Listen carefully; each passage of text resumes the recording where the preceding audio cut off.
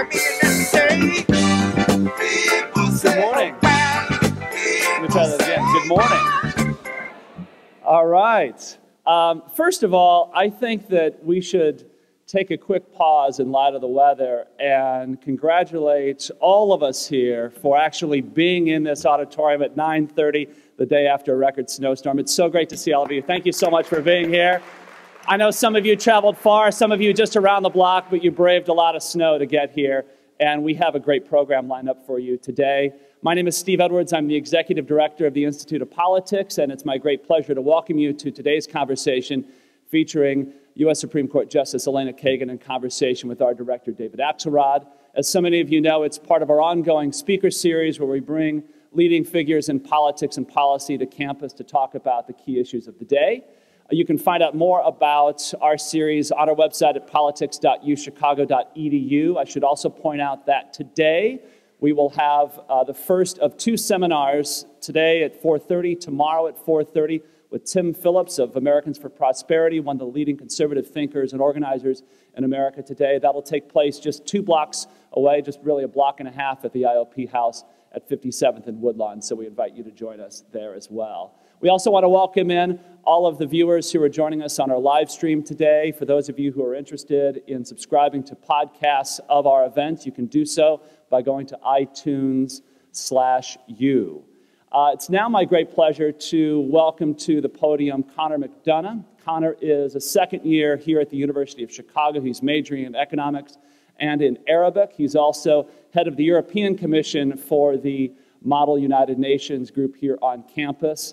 Um, he's also active in the IOP, of course, and doing a very American thing, introducing one of the leaders of an American institution today. Connor McDonough, welcome to the stage. He'll introduce our program.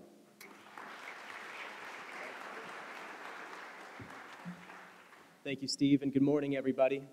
With the Supreme Court set to hear arguments on the Affordable Care Act subsidies, marriage equality, and capital punishment, these nine justices could determine some of the most important issues of our generation and with a divided bench, many of these upcoming high profile cases are uncertain, leaving room for these justices to become some of the most influential in our age. Joining us today, today to discuss her life and work, I'm honored to introduce Justice Elena Kagan. Born and raised in New York City, Justice Kagan earned her bachelor's degree from Princeton, going on to earn a master's in philosophy from Oxford, where she studied the jurisprudence of the Warren Court. After graduating from Harvard Law School, Justice Kagan taught here at the University of Chicago before leaving to serve as Associate White House Counsel and Policy Advisor to President Clinton. In 2003, Justice Kagan became the first female dean of Harvard Law School and later became the Solicitor General of the United States before being tapped by President Obama to serve on the Supreme Court. On August 7, 2010, Justice Kagan was sworn in as an Associate Justice on the U.S. Supreme Court where she is known as a powerful voice on the bench, made known for help, helping to dissect complex legal concepts and make them easily accessible to everyday readers. Here to moderate today's discussion is David Axelrod, the director of the Institute of Politics and former White House senior advisor. Please join me in welcoming Justice Elena Kagan and David Axelrod.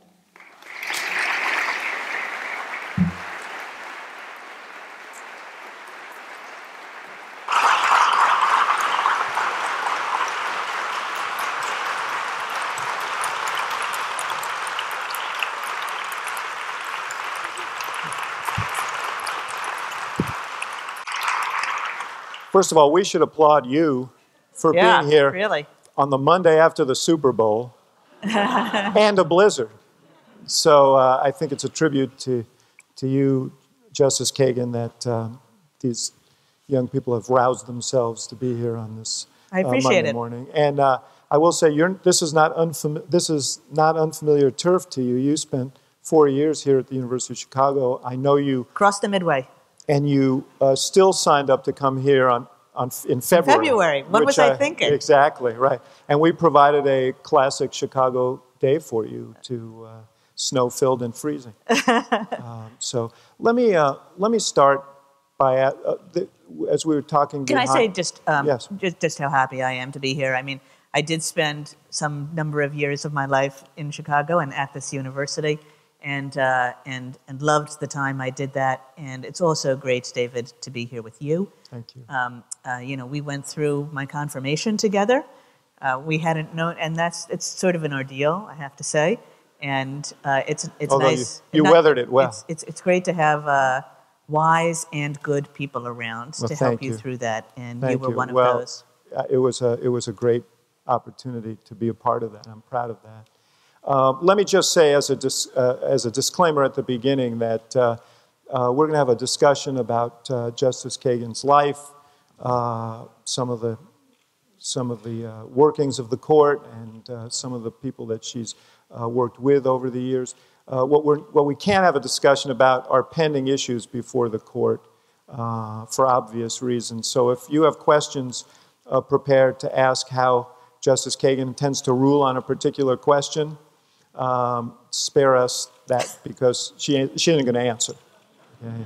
So, um, but, but let, let me start um just a little bit on your life and career. You grew up in New York City, as was mentioned.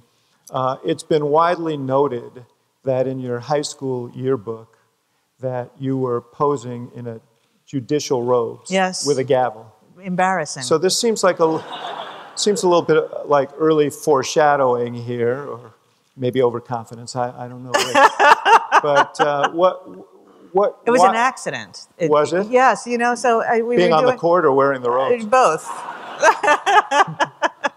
um, but we were doing some kind of yearbook picture for. I, I was a student government type in high school, and we were doing some kind of yearbook picture, and we just had the idea of going to raid the costume closet in my high school, and so we each picked out costumes, and I don't know, maybe there was something subconscious about my picking out that particular co- uh, costume as opposed to all the others, but. Um, So if you've uh, been in a doctor's, there, there you go. I you have have been a Surgeon General.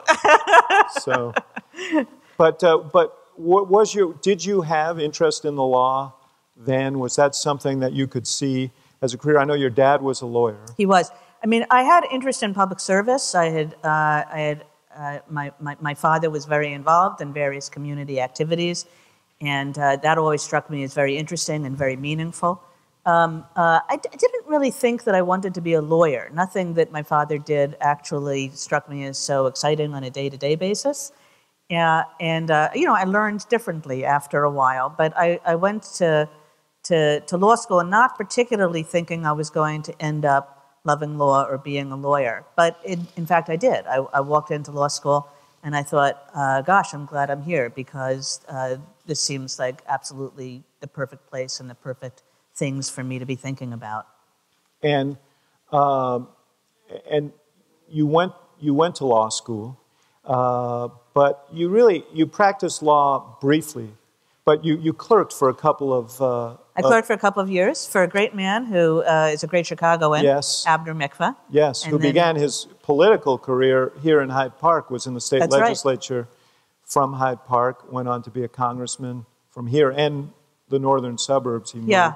and then uh, and always had this very uncertain seat where he never knew every He- two years came around whether he was going to win it or lose it. Exactly, exactly, and then took uh, a judgeship to get out of that bind. Exactly. Um, would ta- talk about him, and then I want to talk about the other ju- uh, justice that you worked for. Yeah, well, I mean, he, he, he, he uh, Ab is, as everybody in Chicago knows, just an awesome person. I mean, he's somebody who mentored me and who took a real personal interest in me in a way I'm never going to forget in my life.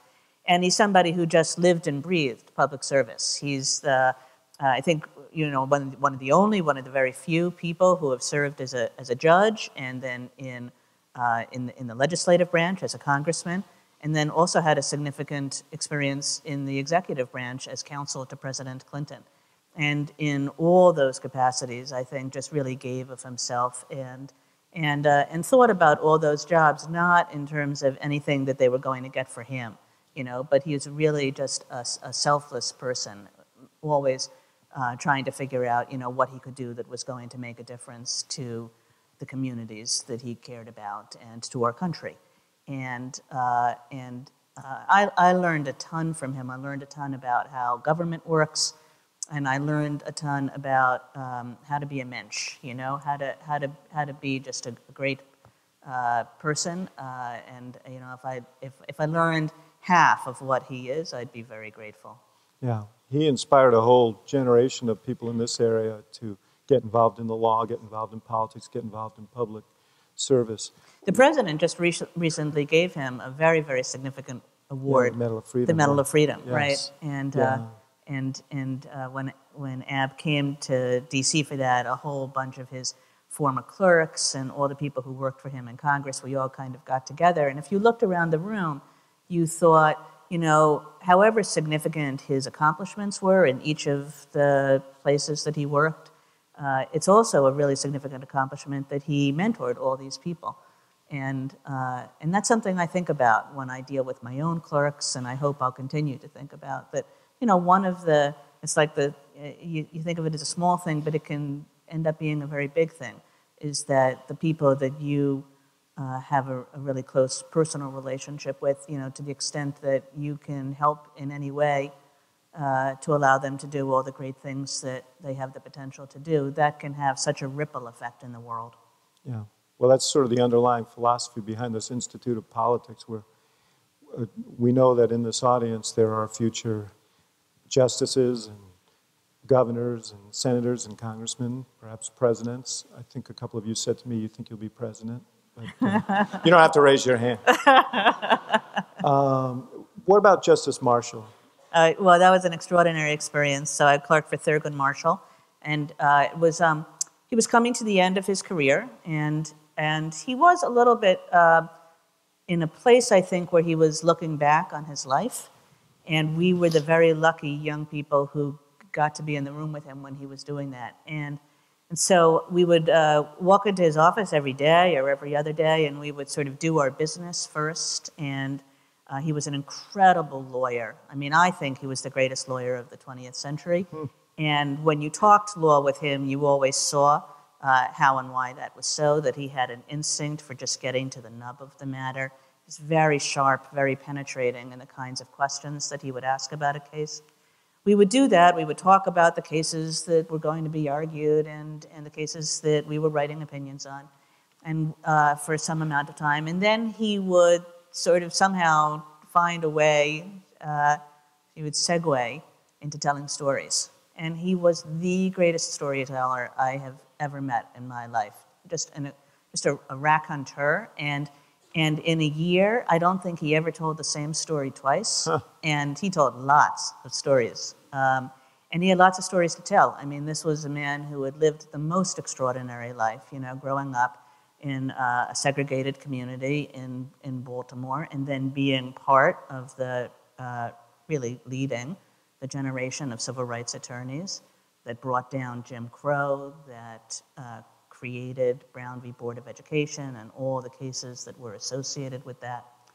Um, and then had done so many sort of different and, and, and, and interesting things, uh, both, you know, at the same time and later. He was, he had, he had done a, a tremendous amount of criminal trial work. He had sort of traveled the deep south in those uh, completely segregated days where, uh, you know, you had to, uh, you, you, you couldn't eat in the same restaurants, you couldn't use the same bathrooms. Um, going from small town to small town, like representing uh, black defendants who had been charged with the most serious crimes, very often uh, were innocent, but it was very hard to get a fair trial and a fair jury um, down there.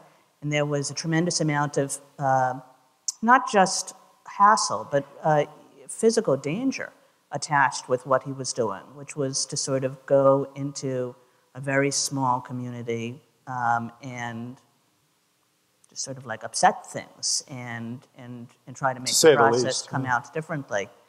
Yeah.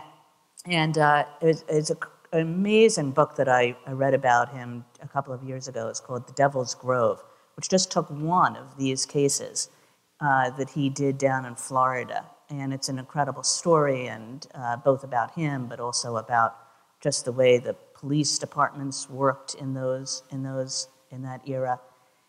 And uh, and reading that book, it just sort of brought back to me what it was like to sit in his office for a year, hearing these stories. It was just getting it's like somebody opening the door to an, uh, this incredibly important part of American life and American history.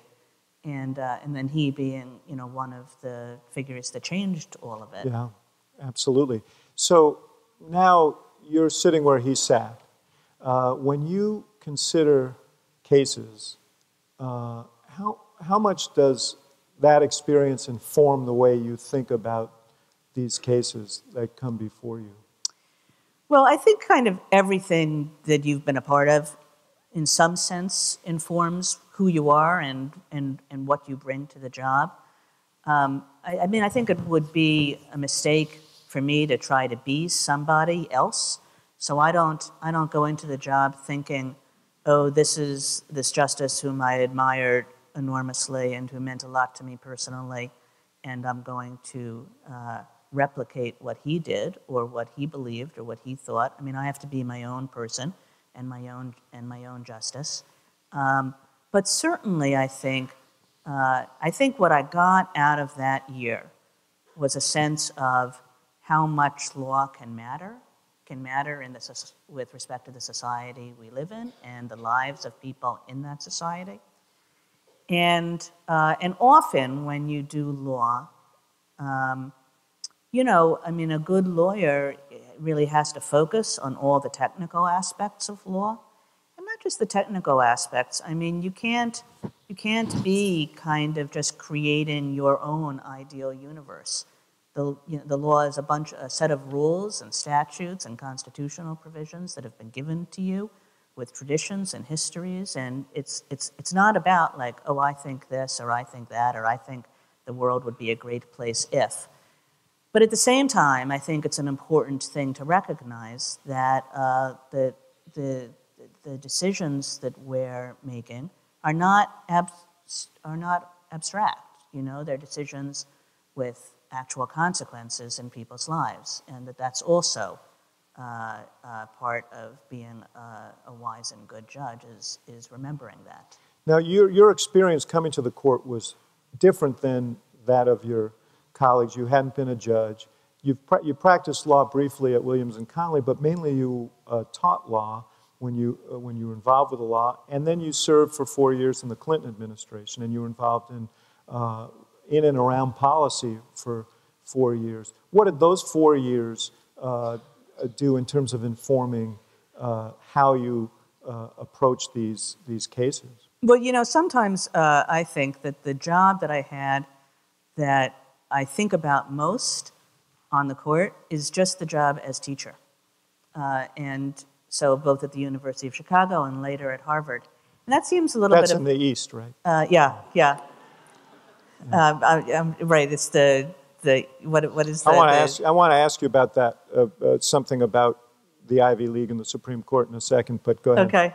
Um, but you, but the way the reason I think about it is because uh, when I taught, so I would come in in the morning before a class, and I would think, okay, so how am I going to communicate this incredibly complicated set of legal materials to this crowd of people who I'm going to be facing? And these are all like smart people and engaged people, and hopefully they had done their reading and all of that. But they did. But they, there was there was also a sense in which they didn't know a whole lot about what I was going to be talking to them about. So you have to find ways of talking to them and of communicating with them that are going to make them try to make them understand this complicated body of legal material and not just understand it in the moment, but you have to f- do it in a way that it will stick with them. That uh, so you, and and when I write an opinion, or even when I think about you know, what I'm going to say at conference with my colleagues, uh, that's often the, exactly what I try to do. I try to put myself back in that mindset and say, and for sure this is true of writing opinions. It's like all these people are going to be re- reading this opinion, they're all going to pick it up, and they're, they're smart and they're interested, but they don't know a whole lot about this uh, material. How am I going to explain it? And how am I going to uh, really uh, pers- persuade them that this is the right decision in this case. And, and so I think a lot about, about that kind of uh, preparation for teaching when I do that. Mm-hmm. The, uh, the question I wanted to ask you was um, everyone on the court was educated at an Ivy League law school. Uh, this is not a University of Chicago question, by the way. I don't, uh, well, I think there should be a few representatives of the University of Chicago Law School on the court. That's a different issue. But, but the University of Chicago itself is an elite institution. Yes. Uh, I know when we were considering, and when the president was considering nominees for the court, one of his concerns was that uh, is to, to bring a diversity of experience as well as uh, other, other kinds of diversity. Um, it, does it trouble you at all that one apparently needs to be educated at Harvard, Yale, I guess Columbia, with Justice Ginsburg, in order to serve on the court? Yeah. So before I answer the question, I'll tell you a funny story, um, which, which I, I think it's funny. Uh, You've already got them. So, as you know, when, when you're nominated, you go through this sort of rigmarole. It's not the, what, what, what, what all of you see is the public hearing, but that's kind of the tip of the iceberg. Is before the nominee goes to the hearing, uh, the nominee goes and meets with countless numbers of senators. I think I met with us uh, someplace in the 70s, or maybe it was even low 80s. And, um, and you do it in this kind of order. So the first person that I went to see was Harry Reid, because he was then the majority leader. And I sat down and he said to me, So, he said, Well, it's very good to meet you. Uh, he said, I told the president I wanted two things of a nominee. And he said, You have one of them. I said, Oh, okay. What, what are the two things? I said. So he said, The first thing I told the president was, No more judges no more people who had been a judge. And as you said, I have I had not been a judge, and I'm the only one on the Not for lack of trying, right? Exactly No, you, no, right. you, were, you, were, you were appointed by President I was- Clinton. I was and- nominated. and- and- Yeah. and- nominated, and the nomination it never just- was It just never acted went on. Yeah, anywhere. That's yeah. right. Uh, uh, so I thought, okay, good. I wasn't a judge. That you know, a lot of people think of that as a as a bad thing, but that's good that there's that there's somebody who doesn't. And I said, what was the other thing? He and I and he said, I told the president, no more people from Harvard or Yale. Oh. Uh, so I'm glad he didn't take that too seriously. Yeah. But um, I do. Th- I think it's an issue. I don't think it's an issue for some of the reas- reasons people think. Um, I mean, mostly the way I think about all these various biographical things, uh, or, or uh, you know, uh, uh, gender, race, da da da da da da da, um, things is is that it it, it doesn't um, affect decision making in very many cases. There are occasional ones where it might, but that for the most part, having a diverse court on any of those um, uh, metrics is, is, is not all that important for actual decision making. What it is important for, I think, is, is, um, is I just think it's a good thing to have our governmental institutions um, be ones that people feel uh, you know, you know, look like America's is one way to put it, but people feel as though their, governmental institutions are connected with them in some real way. And, and, and sometimes, you know, I'll, uh, I'll look out and to the audience when we do our, when we sit at the court and there are lots of school groups and I think, isn't it great that all these kids are sitting there and they're seeing uh, a court with a lot of uh, different uh, racial and ethnic diversity and religious diversity, and uh, they're seeing a court with three women on it. And, and that's important not because it really affects the decisions we'll make, but just because it's something like that people can say, this is an institution that I can relate to, that I feel confident is working for me in some real way. And I think that the Harvard Yale thing, with respect to a different class of people, is a little bit like that. I mean, I go all over the country and I talk you know, to, to not just a, elite universities like this one, but to lots of state schools and lots of schools that, um, that are private, but that just are at a, a, you know, not serving the same kinds of communities, not elite in the same sort of way. And I get this question all over the place. It's like, I what bet. is this about the Supreme Court that it's been taken over by two law schools?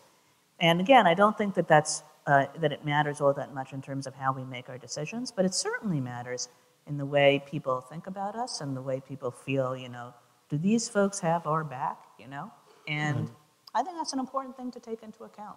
Yeah.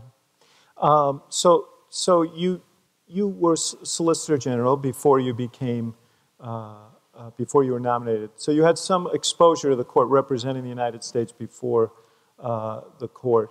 Uh, but, uh, and, and what were your relationships like in that role with the justices, and how were you accepted when, when you arrived? Uh, really warmly. So um, the relationships with the justices, I certainly got to see a lot of them, and they certainly got to see a lot of me. Because um, as Solicitor General, the, the court hears arguments every month, two weeks of arguments, and the Solicitor General typically does uh, one argument for each sitting. So by the time the end of the year rolled around, I had done six or seven arguments. So they got to see me, I got to see them. Uh, I had known some of them, a few of them, from other uh, contexts. But that relationship, the SG justice relationship, is one where there's a good deal of familiarity, but it's all sort of across the podium. You know, it's, uh, it's not a really, it's not a personal relationship. It's, it's, it's just, I know who you are, you know who I am, but we're just talking as lawyer and judge. Um, and, uh, but when I got to the court, it was just, I, I, mean, one of the great things about the court, and I think it's, it's something that a lot of people don't see and don't get. They read sometimes our opinions, and our opinions can be quite aggressive, even when we speak to each other. In other words, the exchange between the majority opinion and a dissenting opinion might seem almost kind of hostile, but it's actually an incredibly warm institution. So, you know, a couple of, of, of stories about the Chief Justice, for example, was that the, the, uh, when I got confirmed, it was about, uh, it's the middle of the afternoon. And this is important only because, like, literally, the moment after the uh, last vote was cast, uh, I was in the SG's office at the time with all my colleagues there, and uh, the phone rang, and it was the Chief Justice. But he was in Australia at the time, so it was three in the morning, his time. But he had sort of stayed up just in order to be the first person hmm. to make that call.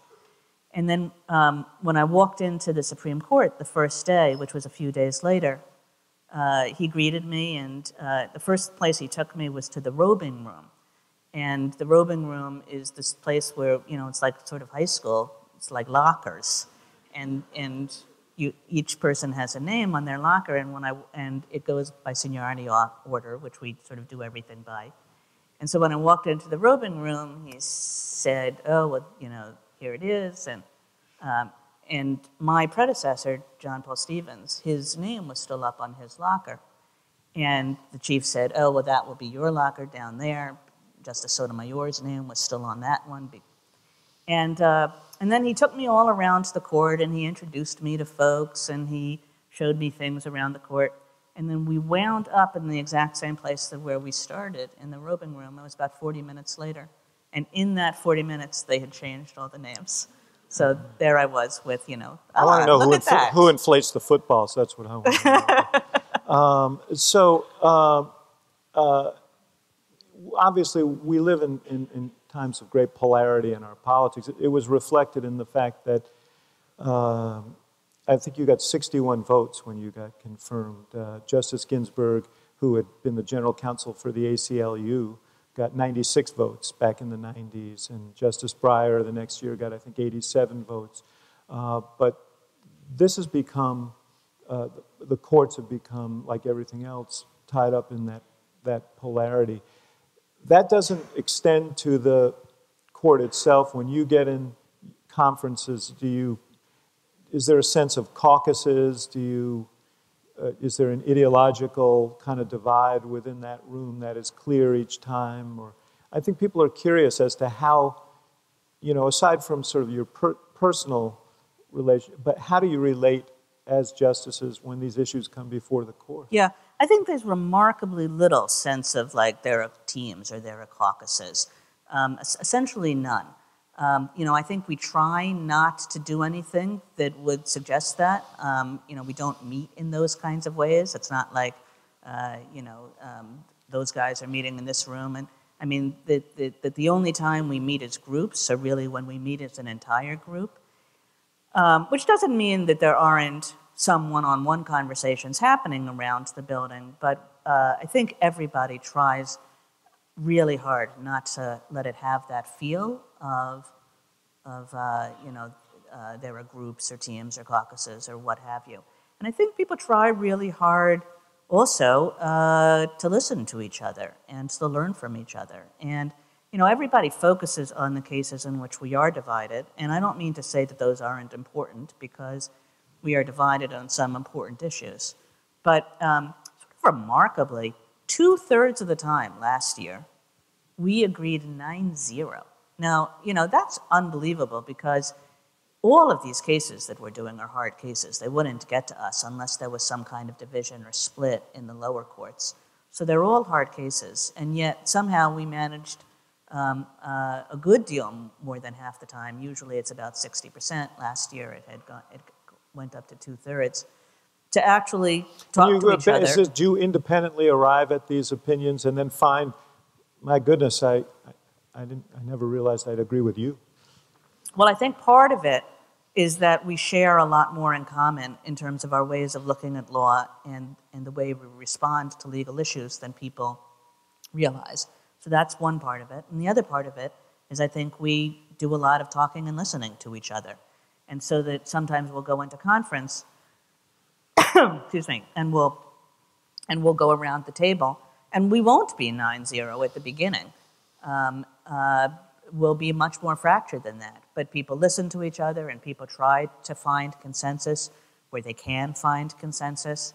And often the conversation will sort of go on uh, after the initial go round of, of, going around the table, go on and say, You said this, and you know, I understand why you say this, but how about that? And sort of questioning each other and talking to each other and coming to some kind of consensus. And again, I think the chief is the chief justice is extremely good about encouraging that in his sort of role as kind of head guy.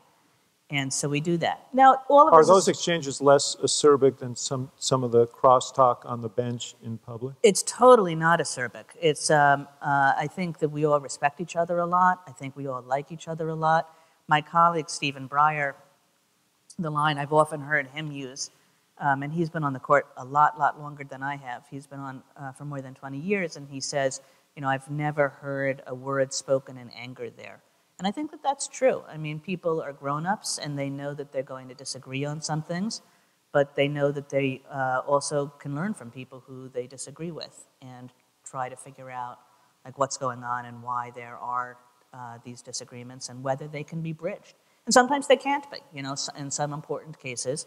Um, uh, and, you know, I remember my first conference it struck me as very peculiar, and now I understand it a lot better. We were talking about two cases, and one of them, I don't even remember what it was, but it was an important case. It was the kind of case that you thought this is going to wind up on the front page of the New York Times. And the other case was a, uh, it was a very uh, lawyerly kind of procedural issue, and I'm not even sure it was all that an important lawyerly kind of procedural issue, although some can be. And the important case, we, we uh, went around the table, and the, the way we do it is we go around the table once, and there's a rule that nobody can speak twice before everybody has spoken once, which is a very good thing if you are the ninth person to speak.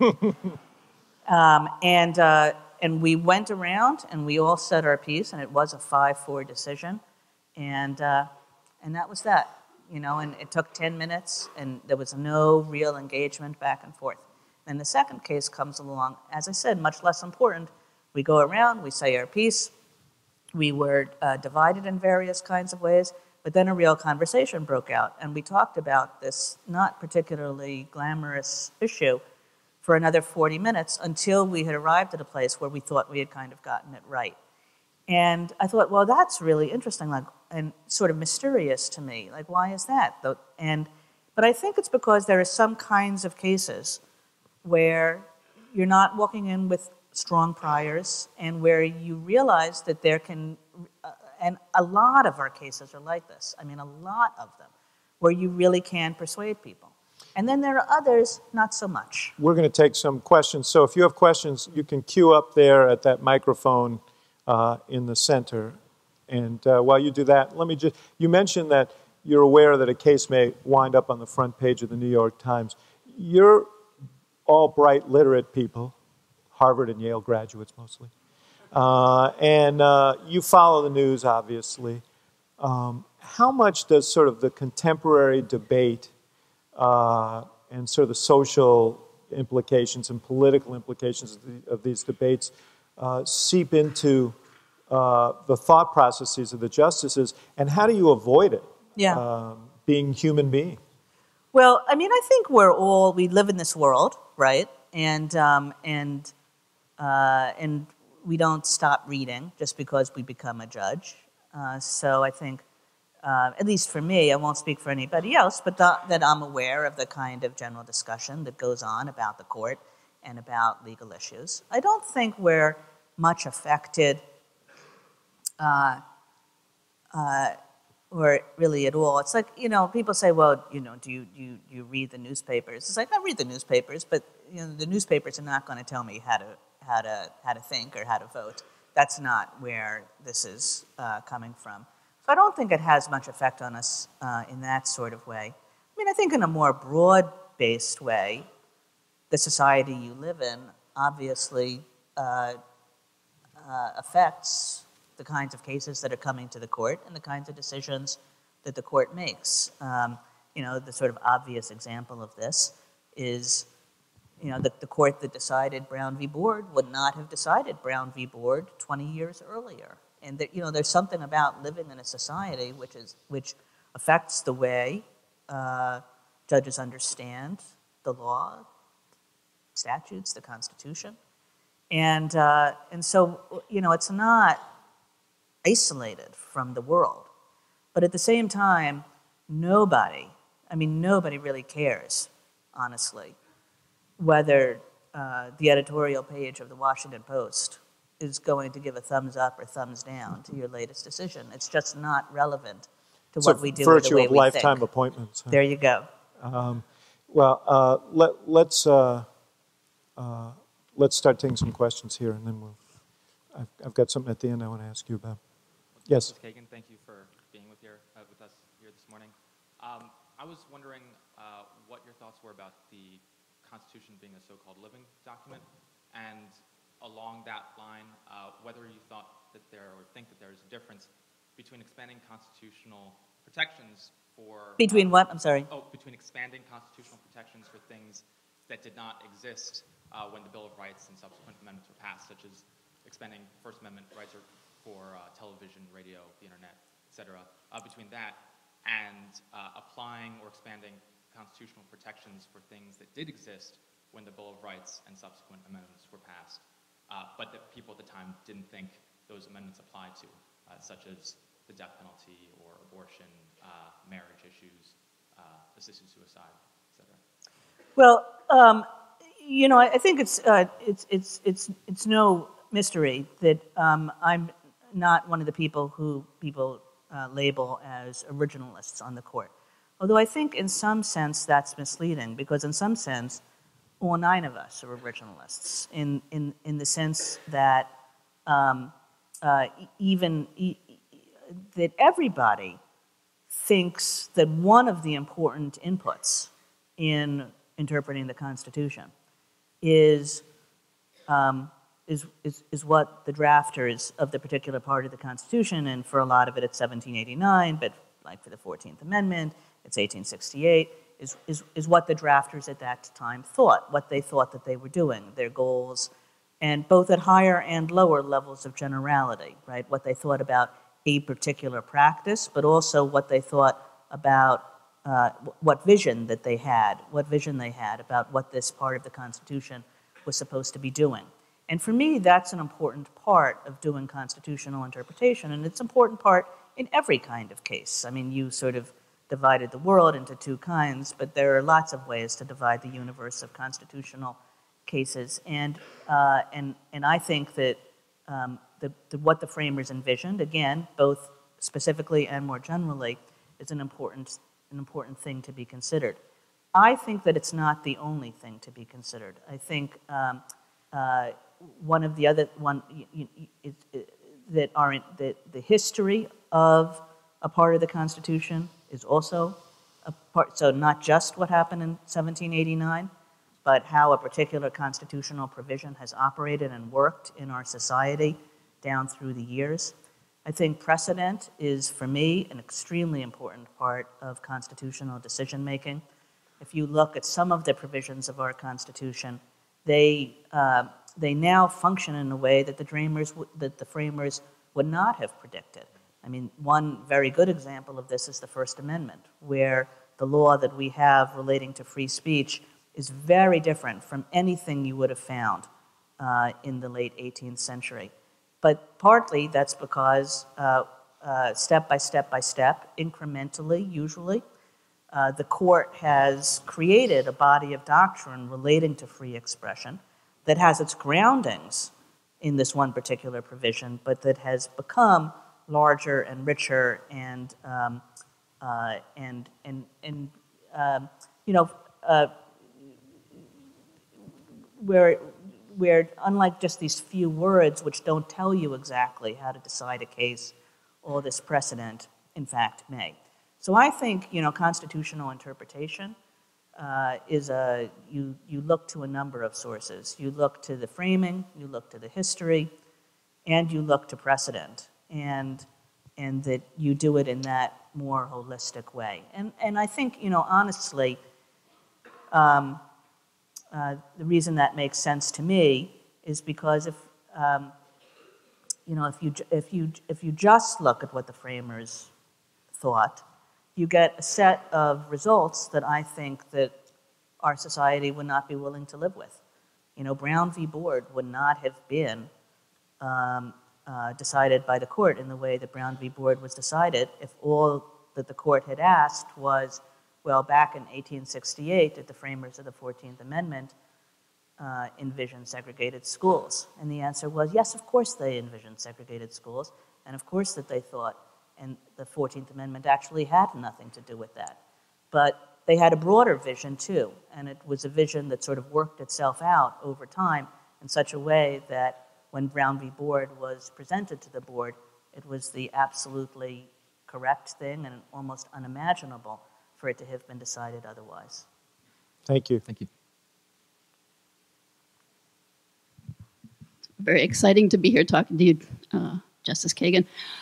You touched very briefly on uh, the idea of looking at the at the possible implications and results in the real world of decisions that are made on a legal basis by the court.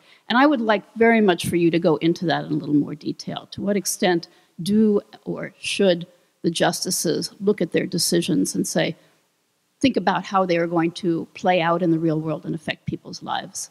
Well, I think you, you, you, uh, you do that only within this frame of real, true legal decision making. I mean, because we are presented with cases, and it's not like, how do you think the world should be?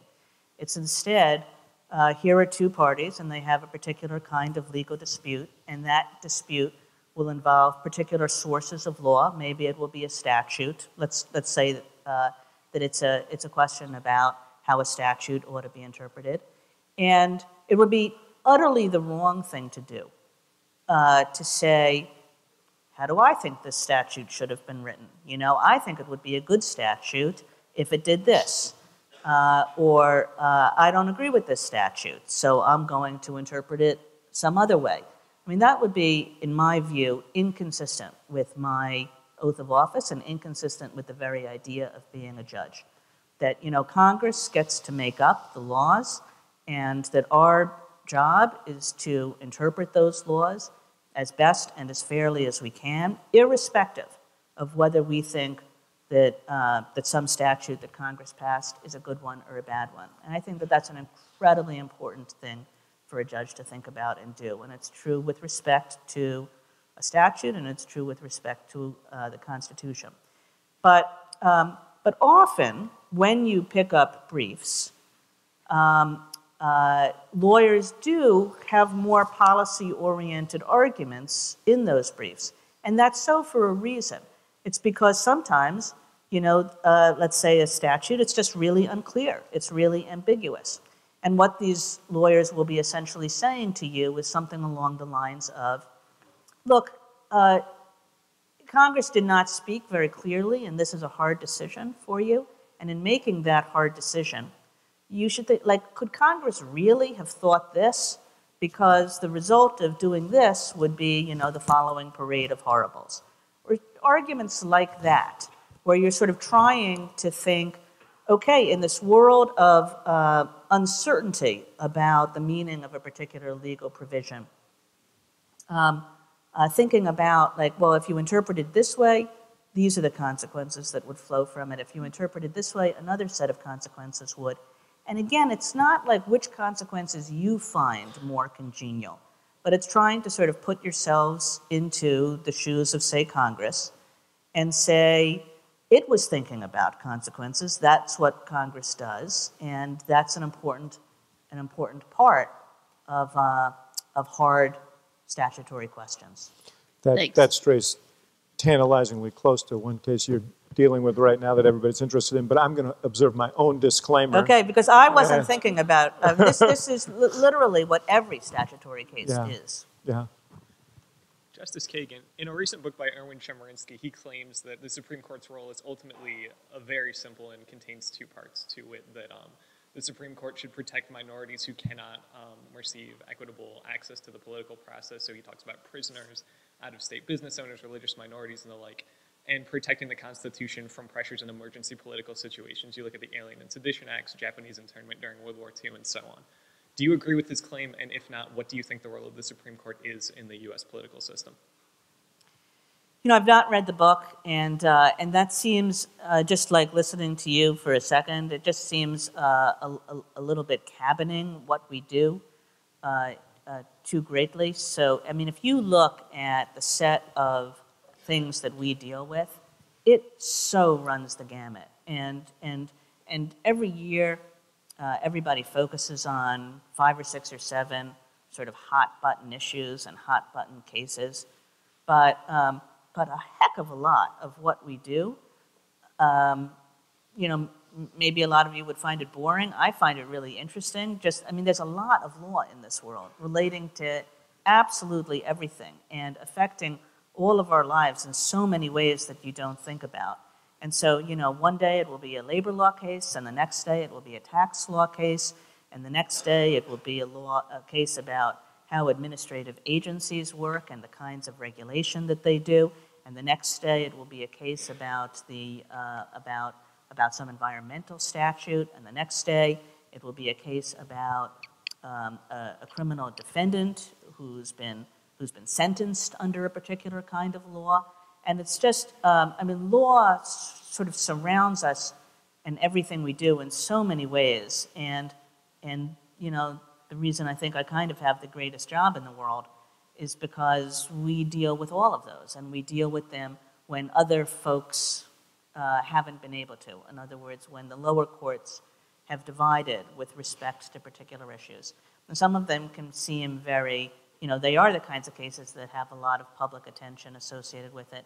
Others can seem very arcane, but maybe uh, matter just as much. So I guess when I think about the court, I just focus on the unbelievably wide range of things we do, and and and uh, what always sort of amazes me is sort of is um, you know that every public policy issue has a legal dimension to it, uh, and and and we hear them all. Thank you. Thank you so much for visiting the university, Justice Kagan. So, given your experience as both a clerk and a justice, and given the thousands of appeals you receive every single year, how do you decide which cases to take? And have you ever had a moment where you wished you would have granted a cert petition had you known more about it? Um, you know, so we get about 10,000 petitions every year, and we only argue, we only hear arguments in about 80 cases. So it's quite the selection process that we do. And what I just said to the, the, the man who asked the last question is basically the criterion of selection is what we call circuit splits. And it's just when there are courts below, and uh, often they're uh, uh, federal courts of appeals, but it may be state supreme courts arguing with each other too, um, that are all trying to decide the same question and are coming out in different ways. And we're the kind of people who get to say, okay, well, they got it right, they got it wrong. And sometimes that's for very important legal issues. Sometimes they're not so important in and of themselves, They're only important because it's, it's, it's crucial that there be uniformity in the law, that it not matter as respects federal law for uh, somebody to be, you know, that it shouldn't happen that say under a federal sentencing law, somebody is sentenced differently in California than he is in New York. So, uh, so, so a lot of the time what we do is just try to uh, ensure that there's uniformity throughout the entire United States as to federal law. Sometimes we take cases that just have to be taken irrespective of whether there's any kind of division or disagreement uh, among lower courts. Cases that just sort of say this is an important legal issue, and in the end, the Supreme Court should decide this. Um, uh, so if you sort of look in, is in, the, the, there's a book about Supreme Court practice, and the first thing it will say is circuit splits, and the next thing it will say is sort of importance of legal question. And those are the two things that we use. You know, are there, are there petitions that go by that we should have taken that we don't? I suspect that there are. I mean, the nature of the process is that you don't really figure out what those, those are because you just deny them and then they never come back to you. But, um, but one, of the th- one of the things I, I think was Justice Kennedy said to me my first year of the court, he said, nobody gets very agitated about uh, which cases we take and which cases we don't. And that's actually true, that people vote, and if the votes are there, we take it. If the votes aren't there, they're not. But nobody thinks of it as uh, you know something to get uh, really excited about. And the reason is because if you're wrong, and if, if the issue is important, it will come back around, and, uh, and we'll have a chance to decide it. So, um, so you know, the, the process by which we take cases is actually, it's very collegial, it's very cooperative. Um, the actual dy dynamics of it is all these petitions are um, distributed to all the clerks, and in all but one chambers. So eight of us are in what is called a cert pool, and all the clerks just operate in the cert pool so that they write memos to all eight justices in the pool. So one day I'll pick up a memo and it will be from one of my clerks. The next day I pick up a memo and it will be from one of Justice Scalia's clerks and so on and so forth. And we all do it very cooperatively. Thank you. Thank you very much for being here, Madam Justice. My question relates to the relevancy of the political question doctrine in a post 9 11 world with the authorization of military force and NSA surveillance programs and the CIA programs. I'm not even going to answer that question. Oh, so Okay. you probably shouldn't like keep going because you'll make a speech and I'll say, boy, that comes pretty close to things that I know I'm going to have to decide. Okay, so then you do foresee, so then you foresee potential cases relating to that in the near future. Maybe I don't in know. I mean, it's it sounds like kind of the sort of stuff we do, you know. This, Yeah, may, okay. Thank you. this may be time to go to the, if you were a tree, what kind of tree would you be? Hello, Justice Kagan, and thank you for coming to speak with us. Earlier, you mentioned that there was an inherent value in student or in, in students coming to the court to see um, a court that resembles America, and you said that there's an inherent value to that. And so, um, I've been thinking about this question this whole time. Um, why does it not seem a tad bit hypocritical that the court doesn't allow video cameras into the court so that the rest of the U.S. can see what goes on in the court, especially um, students from schools that don't have the economic resources to go to Washington and see it. And then separately, um, one of the things that I study here is human rights, and uh, I was curious how much the court or you specifically pay attention to international um, human rights law, or how um, perhaps in the future the court could be integrated into the international court system. Um, so uh, those are two, Two big good, two, two, questions, two good questions, very sneaky. which been have thinking nothing to do this. with each other. Right. Truly, yeah. No, no. This man is a bu- this man has a future as a newspaper reporter. Um, the, uh, the the cameras in a courtroom stuff hard issue. So and uh, and I could give you pretty strong arguments on both sides about it. I mean, you said the argument on, on one side. I mean, we're an important institution of government. Uh, it's it's uh, uh, people should be able to understand the way their institutions of government work people should be able to sort of see for themselves what they're doing and whether they're doing what they're supposed to be doing well. And I always used to think when I was Solicitor General that it would have a different kind of, of, of, uh, of or related, but um, uh, different still, uh, value for the court. Because I used to sit there as Solicitor General, and I used to go up there pretty much every day the court sat, not only for my own arguments, but because there were so many people from my office who were arguing in different cases before the court. So I would sit there day after day after day in the front row, kind of getting this front row seat to this institution. I used to think, this is really quite amazing how well this institution operates. And that if people were able to see it, you know, these nine people, and you know, with, with different views about a range of legal matters, but all kind of coming in, taking their seats on the bench, so well prepared, who, um, who ask such excellent questions, and who, in my mind, really look as though they're trying to get it right. Um, and that it would be great if, if, uh, if everybody could see that. And so there are lots of good reasons why, uh, uh, both for, you know, just because people should serve as a check on our government institutions, but also because people should see their government institutions working well, uh, which I think that the court does. You know, that said, there's another side to it too. And, and the other side is like because the institution works well, you, you um, are appropriately wary of doing anything that disturbs or that may upset the dynamic of the institution. And it's really easy to say, oh, well, you're all grown ups and, uh, and you should just behave the same way once there are cameras uh, there.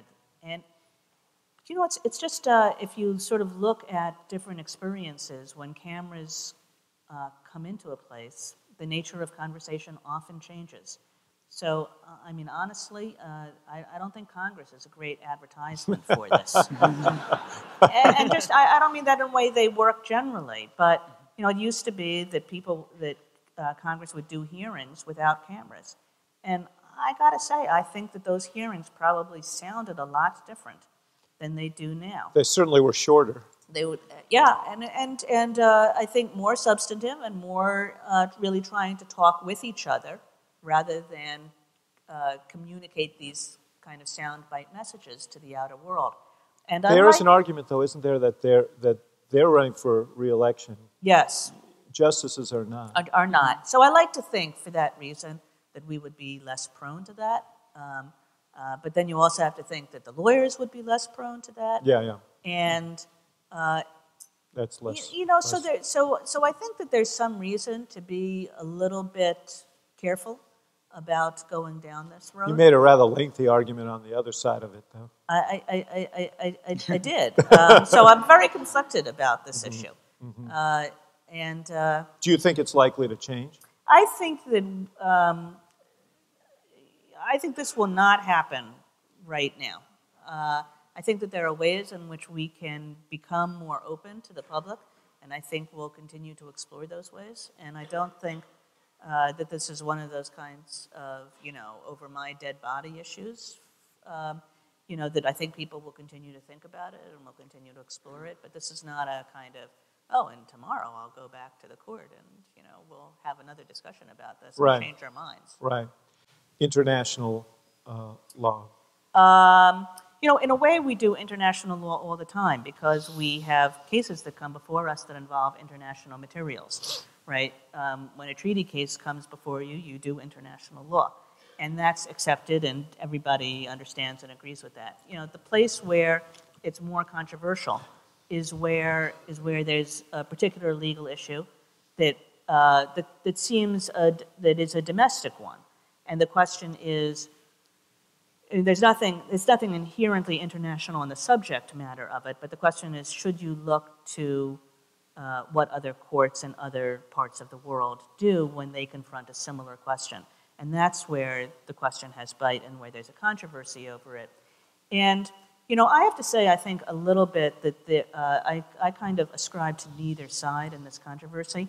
On the one hand, I think um, uh, that, you know, there's nothing wrong with noticing that, uh, you know, in, uh, in Great Britain they do it this way. You know, in the same way that you would uh, and there's nothing wrong with citing that, right? In the same way that you would cite a law review article for, like, somebody has a good idea here. And, um, and why close yourself off to good ideas wherever they come from, whether it's from a bunch of law professors or it's from another court. You know, on the other hand, I have a good deal of sympathy with the view that uh, in the end, uh, we, we are not like all one big legal system, and we are not all one big court. That we have a particular legal system with a particular set of legal um, sources, all our own. Our Constitution is our Constitution. And uh, uh, our, our set of precedents is a distinctively American one. And, you know, unlike some countries more recently that sort of are, are, you know, start in a place, I was recently uh, in Israel. And, you know, Israel is a place, you know, it starts in like 1950, and then they're looking all over for different mm -hmm. legal materials and different legal sources. And, and that's not the case with us. We have this very well-developed body of legal materials and legal sources. And I basically think that the question we ought to be asking ourselves is the question of what does the American Constitution say uh, or uh, about some particular legal issue? And that we, uh, and, and, and uh, so I have a lot of sympathy with people who think I don't like get why you're like looking all around the world when the question is one about what the U.S. Constitution is about. Thank you. Justice Kagan, thank you very much for coming. It's really an honor to ask you a question. Um, I'm curious whether or not you think that some sort of larger economic equality is actually necessary to a healthy democracy. For example, uh, entry level workers making uh, about, I mean, CEOs making about 30 times what hmm. entry level workers would be like an example of maybe a functional equality versus CEOs making three, 400 times what their entry level workers make. In addition, you know, a Citizens United decision. Um, do you think that a sort of larger equality is necessary to a functioning democracy? And is that a um, variable in your calculations? Thank you. So uh, I'm going to say something that may sound harsh, and I don't mean it to sound harsh, but it's really what I think about things like this. It's like not my job. I think that one of the important things is that we all sort of have a sense of the limits of what we do. Uh, and I think that's particularly important for judges. That judges can't wander around going, uh, you know, here's, here's the way I think a properly constructed universe would look and I'm going to do my job with that in mind.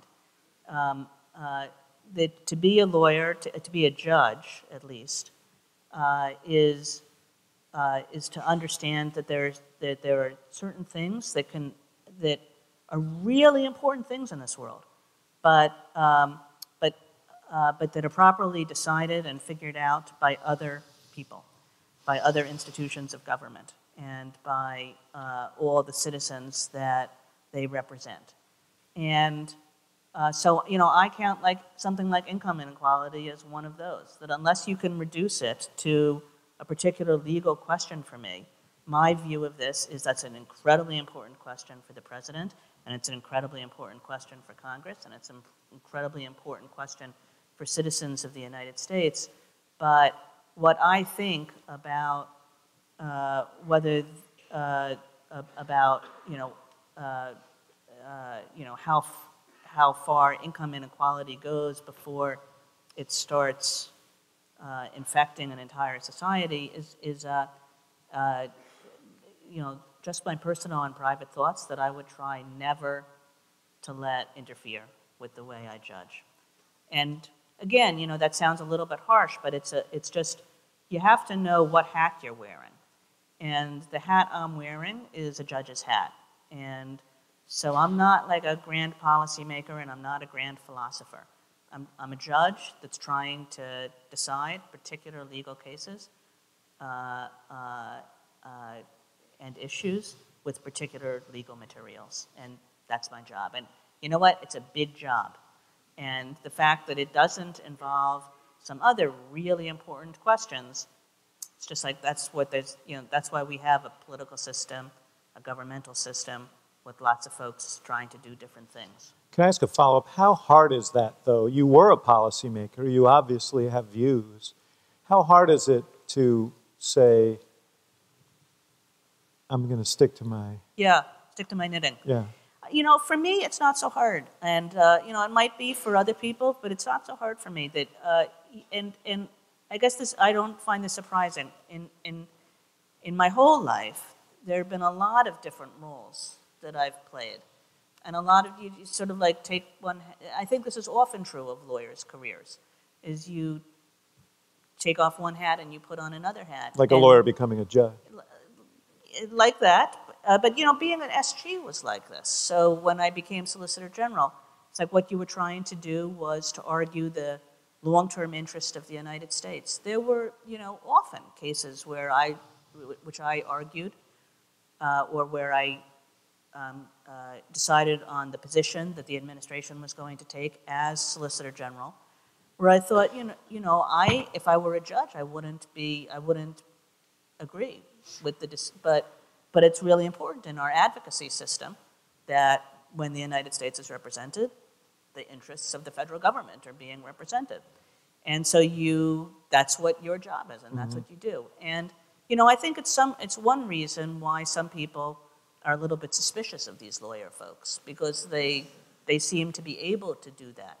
I think that there's a kind of professional ethics involved in it that is, that is really important to me. That, um, that it's not, that I don't come to everything as like, what do I think is the right thing? Um, it's, it's what do I think is the right thing for me in this position with this set of professional obligations that I hold. Mm-hmm. Um, and uh, so that's what I try to do. And, you know, Well- not, uh, I'm pretty comfortable with it. I can see. Yeah. Um, let me. Uh, uh, I just want to finish on two uh, two quick matters.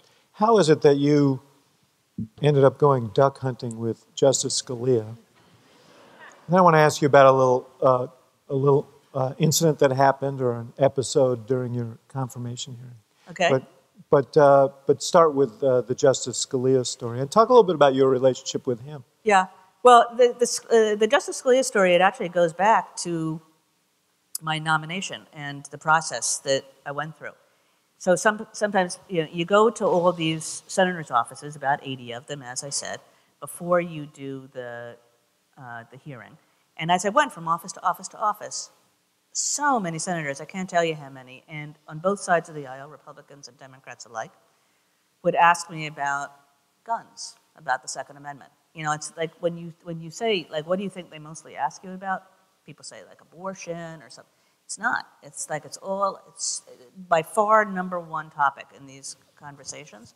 Partly because a lot of folks really care about these issues, and partly because I have to say that the NRA plays some significant role now in confirmation politics, and so they all ask you because they're getting lots of letters from their constituents. They all ask you about gun stuff, and and they can't really ask you about, um, you know, how would you decide this case or that. So they have to find other ways of trying to figure out who you are with respect to some issue. And uh, so I, I can't tell you how many offices I walked into where people would say, "Well, have you ever hunted?" And I would say, well, "No." You know, I was like this Jewish girl who grew up in New York City. It's like, really? Is that what you think we did on a weekend? You know? and uh, and and and uh, they would they would say, well, do you know anybody? Does anybody in your family hunt? Do you know anybody who hunts?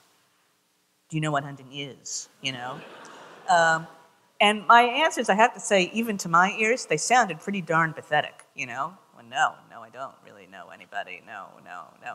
So I was once I was in um, one of the senators from Idaho actually. I was feeling a little bit punchy. It was my 60th one of these interviews. And he starts going on about this and uh, talking about, you know, how much he hunts and, and, you know, he has a ranch and he goes out and what he hunts and, and how important it is. And it is important um, to many of his constituents. I mean, it is a very real thing that I think people from New York City don't really understand and know about. And, uh, uh, and, and I said to him, I I was just sort of without thinking about it. I said, you know, Senator, I said, I've never, I've never had this opportunity and I've never had this experience, but if you would like to invite me to your ranch, I would love to go hunting with you. And the person who was with me from the White House, like, was like ready to keel over. And, and, and the senator, I have to say, this look of total horror.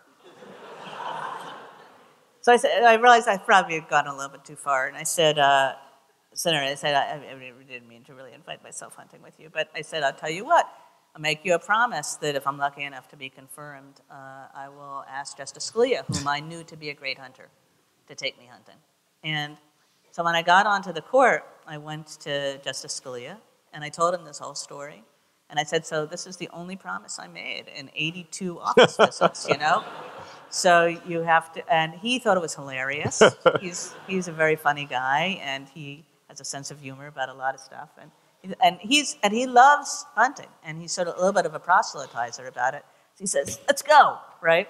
So he took me out to his gun club first, and we shot clay pigeons until I got comfortable with that. And then he's been exceptionally generous. Uh, he has the, a group of, of hunting buddies. He goes like quail hunting and, and, and pheasant hunting with out in Virginia, and he invites me all the time.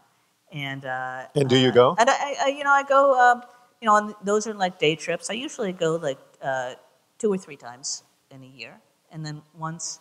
And uh, he, we did that the first year, and then at the end of the year, he said, "It's time for big game." So we went out to Wyoming together. We went out with uh, an antelope license and a deer license. And I shot a deer. Did not shoot an antelope. I didn't get one. Uh, and then, uh, and then this year he said to me, "But you'll really love duck hunting." So, uh, so we went down to Mississippi together just before Christmas, and we went duck hunting. And uh, and he was right. Really, This sounds like a movie. I can see it. Uh, so, last thing, uh, your hearings were went very, very well, but there was this one sort of bizarre moment here that I wanted to share and ask you what was running through your mind when this exchange took place. I think we have this clip queued up. Oh no, I have to Now, watch myself. um, as we Senator move Lindsey Graham. forward and deal with law of war issues, Christmas Day bomber, where are you at on Christmas Day? Senator Graham, that is an undecided legal issue, which, uh, it, the, well, I, I suppose I should ask exactly what you mean by that. I'm assuming that the question you mean is uh, whether a person who was apprehended in the United States is. No, I just asked you where you're at on Christmas.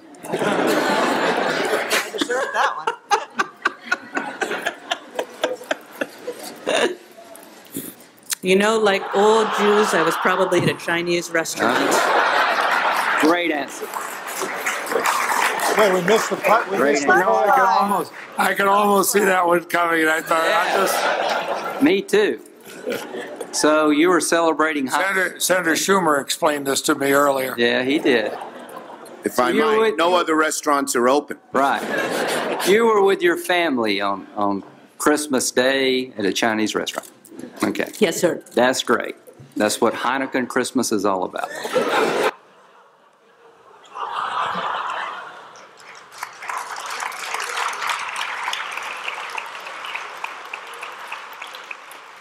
As a fellow Jew from New York, I completely understood that answer, by the way. I, I, I understood that experience. Senator, Senator Graham once said to me uh, afterwards, he said to me, uh, y- y- y- uh, you know, when I, s- the, the audience was, uh, there was a lot of laughter in the audience among all the Jews in the press corps. Yes. and uh, Senator Graham said to me afterwards, he said, well, that was like the moment when I knew this was, this was going. This was, this was going forward.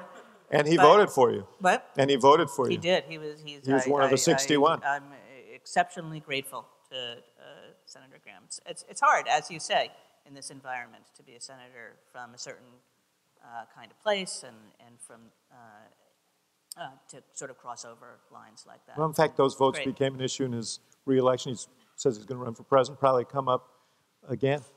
So, but at least he elicited the Chinese restaurant answer. So, good for him. If, if, I, I, sort of feel like, you know, I have a, I hope, a, a, a, a, a long life ahead of me, and ha- whatever I say, whatever I write, the thing that I'm going to best be known for is Chinese eating restaurant. Chinese food on Christmas. Yes. Yeah. Yes. Well, listen, I just want to thank you. You've, uh, you know, the Supreme Court is sort of a mysterious uh, institution for so many people, and for you to come here and share your experiences and thoughts with us helps bring it a little bit closer. it's a real pleasure. Us. So we appreciate it.